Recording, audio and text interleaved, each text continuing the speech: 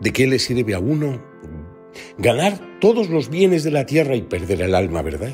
Perder la eternidad. Esa pregunta la hace Jesús en el Evangelio de hoy. Y esa es la pregunta que cambió el corazón de Francisco, de Javier, el patrono de las misiones.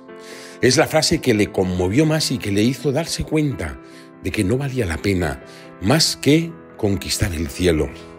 Cada uno de nosotros lo conquistaremos viviendo muy bien lo que el Señor ha pensado para cada uno. Tú y yo no tenemos que ser iguales. Yo no tengo que imitar a San Francisco Javier, ni tú, no tienes que ser de Santa Teresa, de Jesús. Cada uno de nosotros tenemos nuestro propio camino. Pero de que tú y yo hagamos las cosas como Dios quiere, de que tú y yo nos comportemos como el Señor espera, dependen muchas cosas grandes. Y no seremos Santa Teresa de Jesús, San Juan de la Cruz o San Francisco Javier. No seremos, no seremos San Juan Pablo II o la Madre Teresa de Calcuta, pero seremos hombres y mujeres que hemos intentado responder al Señor en cada momento y hemos dado cuenta que el corazón no lo tenemos que tener en, en las cosas de aquí, que son pasajeras, sino en las cosas del cielo. Y por amor a Cristo y por amor al cielo, amar las cosas de la tierra para intentar conducirlas hacia Dios.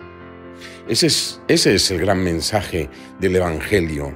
¿De qué le vale al hombre ganar el mundo entero? ¿De qué le vale al hombre acumular todos los bienes de la tierra? Si llegará un día en el que yo me tenga que presentar ante Dios y demostrarle o decirle o mostrarle en mis manos mis deseos de eternidad que he tenido, mis deseos de estar junto a Él. Y entonces Él podrá decirme, como dijo a los buenos, a los buenos siervos fieles, ¿verdad? Entra al gozo de tu Señor. Entra al regalo que te tengo preparado en el cielo. Acaban de escuchar al Padre José María Calderón, director de Obras Misionales Pontificias de España.